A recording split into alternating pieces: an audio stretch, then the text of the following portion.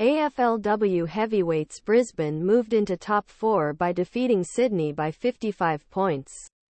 The second highest score in club's history. Courtney Hodder and Sophie Conway scored three goals each in the Lions' 14.3 to 4.8 victory in Springfield. Last season's beaten grand finalists followed up their shock first-round defeat to Richmond with convincing wins over Port Adelaide and the Swans for a combined total of 105 points. Their red-hot form leads to a huge with unbeaten qualifying leaders North Melbourne in Launceston in Round 4. Sydney's rough night away was made worse when former draft pick Montana Ham left the game in the third quarter with a foot injury.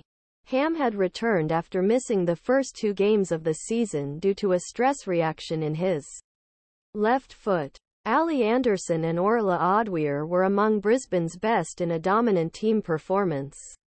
Sydney's Laura Gardiner had a match-high 41 disposals and 9 tackles and Rebecca Privitelli kicked two goals for the visitors. The Lions established a solid platform with four unanswered goals in the opening period.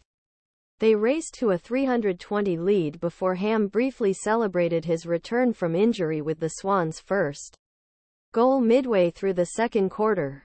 Hodder responded with a superb strike from pocket and added another major two minutes later when he raced into the open goal his third in first half. Sydney struggled in third quarter and were poised to outscore Lions in period until Dakota Davidson produced a superb set-piece shot from byline. Traffic was one way in the last quarter. When Brisbane's rate went from 3.1 to 0.1, the Swans' score came from Chloe Molloy, who finished her 50th AFLW match with 0.4 points. The sun outshines the Magpies at Victoria Park Gold Coast cemented their place in the AFLW top 8 with a hard-fought win against Collingwood at Victoria Park. Two final quarter strikes from AFLW leading goalscorer Jamie Stanton gave the Gold Coast a hard-fought 12-point victory over Rebel Collingwood.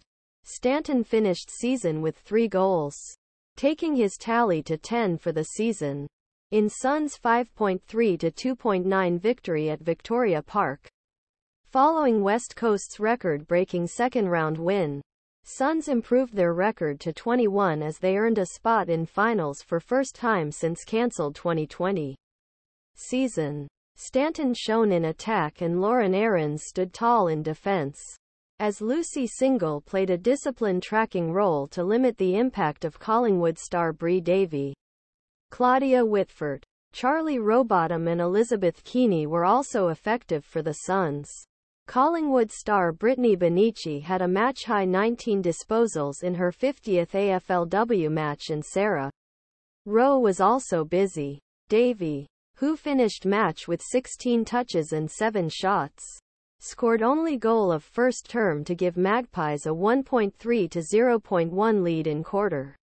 The Suns' first major came seconds after the restart when Stanton converted a free kick and Jacqueline Dupuy added another free kick shortly after. Collingwood dominated county play for long periods B.